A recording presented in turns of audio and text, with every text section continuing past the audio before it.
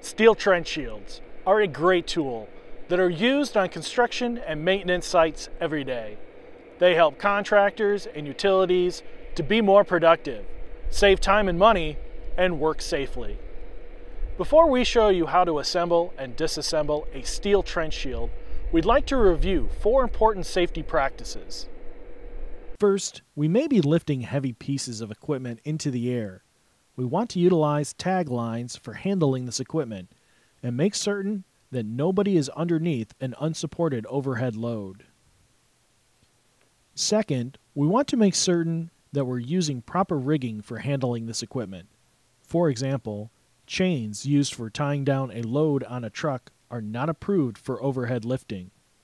All of this rigging needs to be inspected by a qualified person prior to use. Third, we want to make certain the crane or excavator we're utilizing to lift this equipment has sufficient capacity to safely handle the load at the required radius. Finally, we want to watch for potential pinch points. This is particularly important when we're lining up spreaders over spreader collars and inserting spreader pins. When we're ready to assemble the shield, we need to make certain we've got all the right components. This includes two matching sidewall panels. Also, the required number of spreaders that are designed for use with our shield. In this case, we're assembling a shield that requires four spreaders. Some shields may require five spreaders.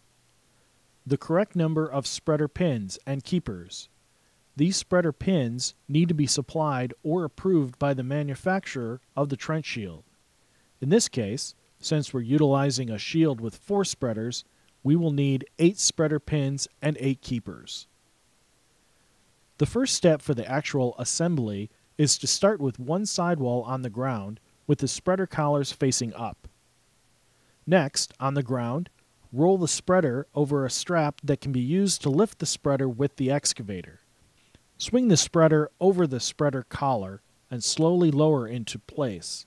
Watch for pinch points.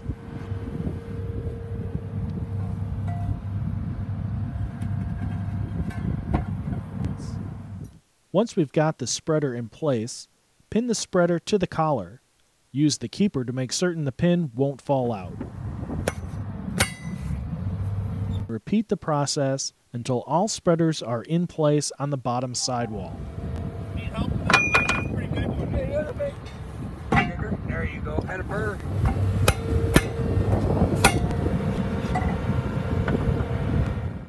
The next step is to lift the other sidewall with spreader collars facing down over the opposite sidewall and spreaders. We need to make certain the sidewall is oriented properly relative to the other sidewall. During this lifting process, everybody needs to step back from the panel. We need to utilize tag lines and make certain nobody is under an unsupported overhead load. We pin the spreaders in place and we're ready to rotate the shield to an upright position.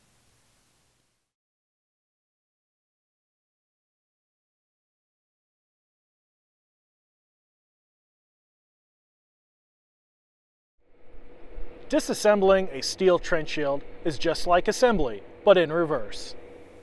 Attach rigging to the top lifting eyes on one sidewall and carefully pull the box onto its side.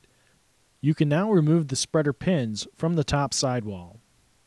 With the excavator or crane, pull the top sidewall off the spreaders. Remove the spreader pins from the lower sidewall.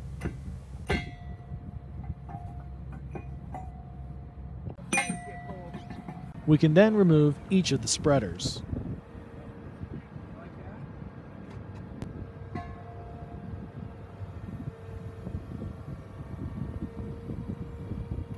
This has been an overview of the assembly and disassembly of a steel trench shield. It's important that a properly trained and authorized competent person is on site at all times and supervises this process. Assembly and disassembly of a shield needs to be in accordance with the manufacturer's instructions. Finally, nobody should enter a trench before all of the shoring equipment is in place and the competent person determines it's safe. Check with the manufacturer or distributor who supplied your equipment if you have any questions. Thanks for watching, and be safe.